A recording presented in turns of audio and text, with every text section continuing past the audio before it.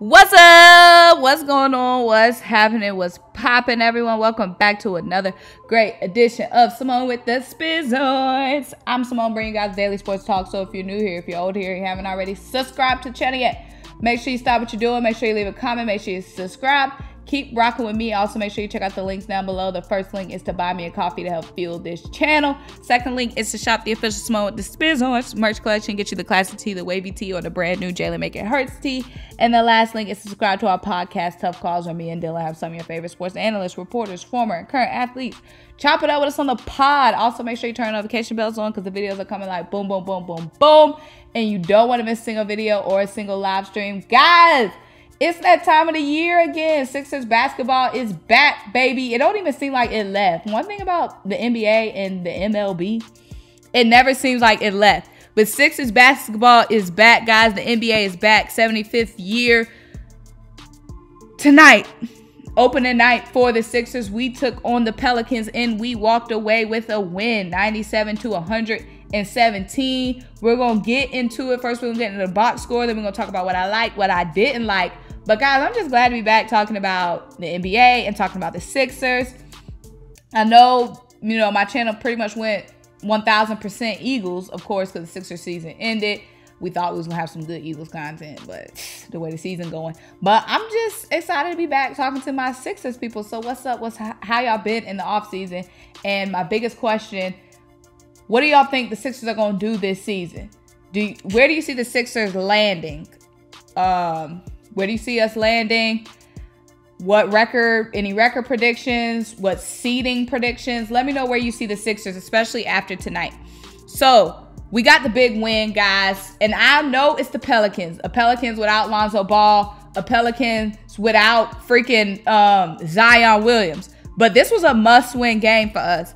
And let me tell y'all why. I know it's only game one. We play a billion games in the NBA, but this was our first game after our whole Ben Simmons drama. And the team had to prove to each other and to the fans that they're still a team without Ben Simmons, that they still are that team. They're still the team that will come in and get the wins that they need to get. They're still the team that had the best record in the NBA last season. Ben Simmons or no Ben Simmons. So that's why this was a must win. This is the first win after the Ben Simmons drama. If we came out here looking a hot mess, that would have been bad for the team, for the fans. But the Sixers came out and said, uh uh uh uh uh. Still I rise. Still I rise. And they came in and got the win that they needed to get. So, guys, first of all, you already know we're going to get into the box score and all that in one minute. But, you know, in Smoothie King Center, they were chanting Ben Simmons, Ben Simmons, we want Ben Simmons. And I know that's got to be annoying as heck for the team, but that's just something that we're going to have to expect all season long from these teams just trying to get in our players' heads. You know, they're going to be yelling and chanting Ben Simmons. Who even knows what's going on with him? If, if, if a team will even want him. Doc Rivers said in a press conference that he still wants Ben Simmons to play. Now, I know Doc Rivers is the utmost professional when it comes to the NBA, and he's going to say the most um, PC thing to say, which is, of course, we want Ben Simmons to play, even if he doesn't. But let's get into this box score, guys. My life is crazy right now. My sports life is crazy. I've have the Eagles, the Sixers, and the Braves fighting to go to the World Series. So I got a lot going on tonight. My head was spinning. I had the Braves versus Dodgers, which is still going on. Sixers, and then I'm trying to watch that Celtics Knicks double overtime. Like tonight was a lot for me. So this video is kind of coming late. Next video I'm gonna do is gonna be Friday versus the Nets. Hopefully I'm on camera for that video. On Friday, I cover high school football. So we'll see if I'll be able to come on. But let's talk about this win. First, we're gonna go through the box score and then I'm gonna tell y'all what I liked. It was a few things. Overall, great win. Like I said, it's a few things, a, a couple of things that that kind of had me a little bit nervous. But overall, great night. Um, let's of course we gotta start off by talking about Korkmaz. Furkan Korkmaz just signed an extension this offseason. He came out the gate showing why. He played 20 minutes. He was pretty much our backup point guard. Who would have ever freaking thought Korkmaz would be running the offense? Like, whoever would have freaking thought Korkmaz would be running our offense? Korkmaz was went crazy tonight, guys. He was just spraying. So Korkmaz, 20 minutes, 63% from the field, 7 11 from the field, 4 for 4 from 3, 100% from 3. Heat check going crazy. He was 4 for 4 from the free throw line as well. He had 5 assists and a steal. He only had one turnover. He kept it scrappy. I love that about Korkmaz. And Korkmaz, like I said, he was running our offense off the bench. He did really well with Andre Drummond. When him and Andre Drummond went those combo plays, they did really, really, really, really well. They had um they had um Jaxson Hayes, the backup um, center from the Pelicans. They pretty much had him on skates a lot of the time. Korkmaz has some really, really, really nice passes. Like I said, he's running our he was running our um offense off the bench, which was a surprise. Um, and he was able to give Joel Embiid a rest in the second half because he was just playing so well, putting up so many points. He was bursting with confidence, and that's what I like to see. Korkmaz, if he's going to be running this offense off the bench, we want him to be, of course, confident. Joel Embiid, 25 minutes of play. He was 8 of 17 um, from the field, two of three from three, 66% from three, 66% from the free throw line. He had five, he had six rebounds in total, five defensive, one offensive.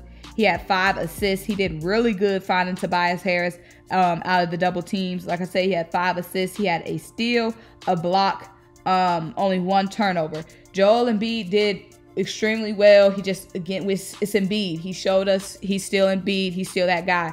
Um, I do want to see him shooting less jumpers, you know, like shoot a little less jumpers. But again, nothing nitpicky. It's Joel and Embiid. He's freaking Joel and Embiid. Um, who are we gonna talk about next? Um, Niang. Niang did well. He's a new Sixer. He played 18 minutes. He was four or five from the field, 80% from the field. He shot three or four from three, 75% from three. So just another guy showing that he can stretch it for us. He had an assist as well, and he had a block. He played really well, really promising. Um, let's talk about Andre Drummond. Andre Drummond went crazy. Andre Drummond had 17 rebounds. 17 rebounds. I, I repeat, 17 rebounds. Andre Drummond also had three assists, two steals, and two blocks. Andre Drummond did extremely well. He shot 50% from the field, didn't attempt any threes. I likes that. 66% from the free throw line. Now, Andre Drummond had four turnovers, and this gets into one of the things I'm nitpicking about. Like I said, Andre Drummond, he showed up big defensively. He was breaking up pick and rolls. He was in transition. His transition defense was amazing as well. But Andre Drummond, and this it's not even against Andre Drummond, it's us not having a true backup point guard. A lot of times Andre Drummond in transition would have the ball or after a steal would have the ball and it would just get really, really, really, really sloppy. And that just comes from us from us not having a natural backup point guard. So that's not even on Andre, but just in general, that's something that we're going to have to fix up. Andre Drummond shouldn't be handling the ball as much as he was handling it tonight. Tyrese Maxey. Tyrese Maxey is showing some growth. Tyrese Maxey, 33 minutes. Tyrese Maxey was 8 for 14 from the field. He was playing really well with Joel Embiid and all of their sets. Him and Joel Embiid just have a lot of good chemistry together. Um, he shot 57% from the field, 66 from three. He was 2 for 3 from three. Um, he was 100% from the free throw line. He had seven rebounds, five assists, um, and only one turnover. Tyrese Maxey, I loved his game. He it's just been improving, improving, improving. He had 23 points for us tonight. Tyrese Maxey, I mean, he's just the confidence is stepping up. But there is one thing that I do have to nitpick about with Tyrese Maxey. Um, sometimes it seems like he's a little reluctant on the catch and shoot. Sometimes it's like he's wide open in my opinion, but he decides to kind of dribble and wants to shoot more off the dribble than he does catch and shoot. Um, a little nitpicky, but of course, you know, if he's going to be our starting point guard, he's going to have to be much more decisive and much more aggressive um, when it comes to the shooting. Like I said, no complaints. He had 23%. He had 23 points tonight, but I'm just saying in the future, um, when he, you have an open look, when he has an open look, I want to see him instantly, no hesitation, taking the open look, not wanting to um, shoot off the dribble when you can catch and shoot, especially if Embiid is like finding him out of a double team or whatever.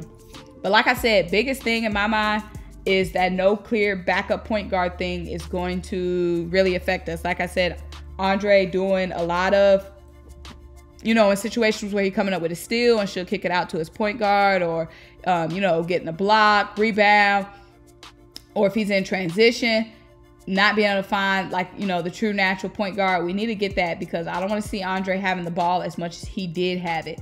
Um, also, Matisse Thybulle, he struggled a bit but of course, Matisse didn't play in the preseason. It's the first game of the season. We got the win. We blew out the Pelicans. No big complaints. But again, it was the Pelicans with no Lonzo, no Zion. So, you know, we just a lot of things we do have to clean up if we want to be a real force. Um, and not only the East, but just the NBA in general. Um, Matisse, the biggest question, and I want to know you guys' opinion on all this. Do you think Matisse can consistently guard the number one guy? Like, you know, in the past, Ben Matisse was getting the guy Ben wasn't getting. Um, but do y'all think Matisse can continuously and consistently lock down the opposing team's number one guy? Because he's going to have to be that guy to step up with Ben Simmons out. But this was a big win. Like I said, we had to get this win. It doesn't matter how light the team was, we still had to come away with this win. We have a tough schedule coming up we have to be ready. We have to be ready. And like I said, this just shows we can we can rally together. They still have the confidence. They still have the drip. Without Ben, we knew that, but we needed them to prove that to the NBA. Friday we have the Nets. The Nets just lost to the Bucks. The Nets Nets are going to be wanting to come and get a win, especially a win without um, Kyrie, and they're going to be wanting to get a win in the East. So the Nets is going to be huge, huge, huge for us. Make sure you tapped in. I'm gonna be here post game for the Nets. Hopefully, I'll be able to be on camera. Like I said, I do Friday. I have Friday night lights, so I don't know if I'll be able to do on camera. But after that, we have the Thunder. Then we have the Knicks. The Knicks, like I said, they just knocked off the Celtics tonight in double overtime. Of course, Julius Randle. Of course, they're bringing RJ. Of course, they, they got Evan Fournier now, help off the bench and then they added Kemba Walker, their new starting point guard. So right after the Nets, boom, we get an easy we get an easier game in the Thunder, and then boom, we have the Knicks. Then we have an easier game in the Pistons. Then it's the Hawks. We know what happened against the Hawks. And then right after the Hawks, the Trailblazers. So Damian Lillard.